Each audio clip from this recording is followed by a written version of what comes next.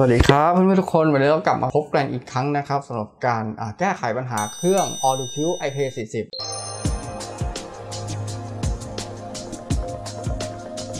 ตอนนี้ก็จะมาเสนอในเรื่องของการแก้ไขปัญหาทัชสกรีนไม่ได้นะครับ เพื่อนๆบางคนอาจจะเจอปัญหานี้มาบ้างแล้วนะครับเราวิธีการแก้ไขนะครับเพื่อนๆทุกคนสามารถทำการแก้ไขได้ที่บ้านง่ายๆนะครับไม่ยากนะครับขอให้มีอุปกรณ์ดังต่อไปนี้ 1 คือครับ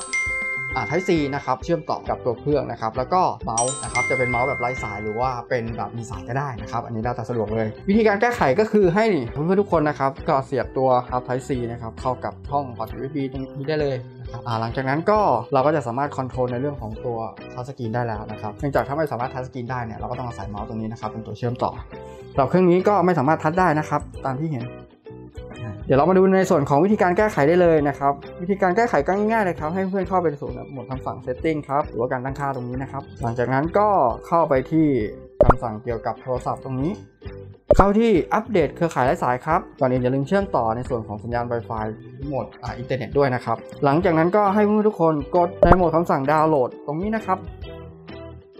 ในหมวดคำสั่งการอัปเดตเครือข่ายไร้สายตรงนี้มันจะมีเวอร์ชันของการอัปเดตอยู่ที่ประมาณ2หรือ3เวอร์ชันนะครับแล้วแต่การอัปเดตของเพื่อนนะครับโดยปกติแล้วจะมีการตั้งค่าเป็นแบบ auto ไว้นะครับแต่สำหรับเครื่องนี้มีการตั้งค่าแบบเป็น off ไว้ก็คืออไม่ได้ตั้ง auto ไว้นะครับเพราะฉะนั้นในการอัปเดตเราต้องมากดเวอร์ชันที่มีการแก้ไขในเรื่องของตัวปัญหา touchscreen ไม่ได้นะครับจะเป็นเวอร์ชันของวันที่ดูตรงนี้ได้เลยนะครับจะเป็นเวอร์ชันของวันที่ 29 ครับเดือน 5 ปี 2021สำหรับเวอร์ชันนี้ที่ผมกำลังอัปเดตอยู่นะครับก็เป็นเวอร์ชันของวันที่ 15 5 เดือน 5 ปี 2021 นะครับ เพราะนั้นหลังจากเวอร์ชันนี้แล้วเนี่ย เราอาจจะต้องมีการอัปเดตอีกเวอร์ชันนะครับ ก็คือเวอร์ชันของวันที่ 29 เดือน 5 หลังจากที่มีการดาวน์โหลดเสร็จเรียบร้อยนะครับ 100%ก็ให้เพื่อนๆทุกคนนะครับเข้ามากดตรงนี้ได้เลยนะครับ อัปเดตตอนนี้นะตกลงตามขั้นตอนได้เลยครับ ตัวเครื่องก็จะมีการ restart ตัวเองนะครับ เป็นการ reboot เครื่อง หลังจาก reboot เครื่องเสร็จเรียบร้อยแล้วนะครับ ก็จะมีการเปิดกลับเข้ามาใหม่นะครับในหน้าปกติ แล้วเดี๋ยวเรามาดูในขั้นตอนถัดไปนะครับ หลังจากที่มีการรีบูตเรียบร้อยแล้ว หลังจากที่มีการอัปเดตเสร็จเรียบร้อยแล้วนะครับ ก็คือหน้าจอของเราจะมาอยู่ในลักษณะแบบนี้เลยนะครับ ตามที่เพื่อนๆทุกคนเห็นนะครับ ก็ให้กดตามขั้นตอนเลยกดตกลงได้เลยครับ หลังจากนั้นก็ให้เข้าไปที่คำสั่งเดิมนะครับ ตั้งค่าครับ แล้วก็ไปที่เกี่ยวกับโทรศัพท์เหมือนเดิมเลย อัปเดตเครือข่ายไร้สายครับ หลังจากนั้นก็มาในส่วนของการอัปเดตเวอร์ชันถัดไปนะครับก็คือเป็นเวอร์ชันของวันที่ 29 แล้วเวอร์ชันของวันที่ 29 เดือน 5 ตรงนี้นะครับก็จะเป็นเวอร์ชันที่ไว้สำหรับแก้ไขในส่วนของการ touchscreen โดยตรงนะครับเพราะนั้นณตอนเนี้ไม่สามารถทำได้แน่นอนครับเดี๋ยวเรามาลองอัปเดตในส่วนของเวอร์ชันนี้ดูนะครับว่าจะสามารถทำได้หรือเปล่า นการอัปเดตก็เช่นเคยนะครับ ก็อาจจะต้องรอนิดนึงนะครับความเร็วในการอัปเดตตรงนี้ก็ขึ้นอยู่กับเครือข่ายอินเทอร์เน็ตที่เพื่อนๆทุกคนเลือกใช้นะครับต้องมีความแรงแค่ไหน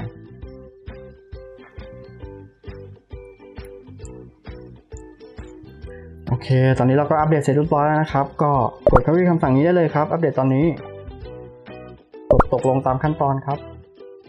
เหมือนเดิมครับเครื่องทำการรีบูตหนึ่งครั้ง หลังจากนั้นก็จะมีการเปิดเครื่องขึ้นเองอีกครั้งนะครับ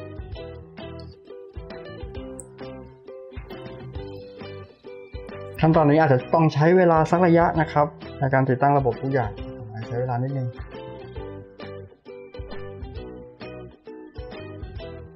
ทำการติดตั้งระบบเรียบร้อยแล้วนะครับ ขั้นตอนนี้ก็เดี๋ยวผมจะลองดึงสายนี้ออกมาได้เลยนะครับ เดี๋ยวเรามาลองดูกันนะครับว่ามันจะสามารถคัดได้หรือเปล่า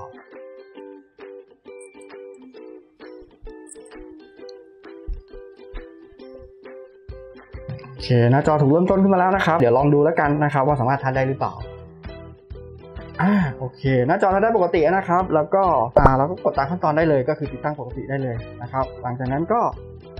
ลอง test ดูในส่วนต่างๆของตัวเครื่องนะครับ ว่าสามารถ touch ได้หรือเปล่าใช้งานปกติไหมนะครับโดยปกติแล้วคือทาง Alldocube มีการออกเวอร์ชันนี้มาไว้สำหรับแก้ไขในเรื่องของตัว touchscreen อ่าเป็นหลักอยู่แล้วนะครับ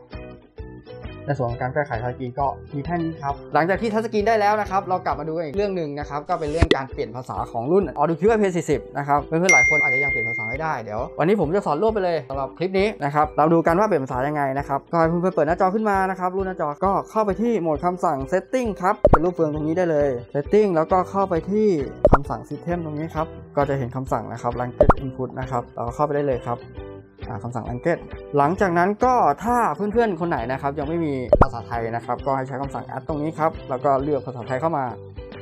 หลังจากที่เลือกภาษาไทยเข้ามาเรียบร้อยแล้ว เราก็จะเห็นภาษาไทยเป็นลักษณะหน้าจออย่างนี้นะครับ เราก็ให้กดตัวภาษาไทยค้างนะครับ แล้วก็เลื่อนขึ้นไปอยู่อันดับนึงแค่นี้นะครับ หน้าจอของเพื่อนทุกคนก็กลายเป็นภาษาไทยเรียบร้อยแล้วนะครับ